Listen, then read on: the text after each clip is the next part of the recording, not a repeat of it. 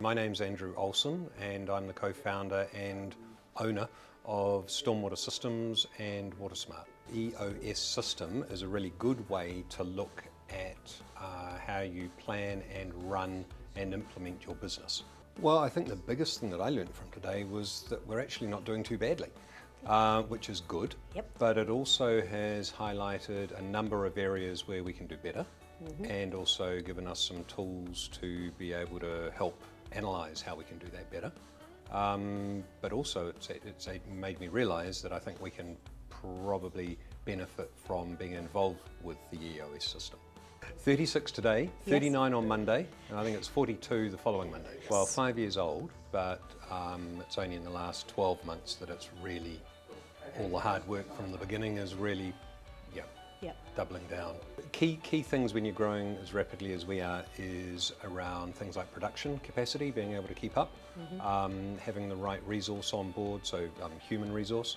Uh, as we know in New Zealand at the moment, that is incredibly difficult um, and is only going to get more so while the clowns in Wellington carry on with their, their um, um, Hermit Kingdom policy. Yep. Um, but also that um, the key is good people. The key to growing a business, of any business, is, is having the right people, resourcing them well and supporting them. Mm. The favourite tool I think will be the level 10 meeting, mm -hmm. being able to manage that quickly and effectively. We already have very specific KPIs around each of the sections of the business. We have very specific, uh, we've used the RACI model, mm -hmm. um, but now it's about making sure that we measure all of those KPIs accurately and um, report on them weekly. We have been doing sort of monthly, but uh, that's not often enough. A number of things. It means that you're on top of it more more often, which means you can you, can fail fast, mm -hmm. but you can also um, see where things need to be improved regularly.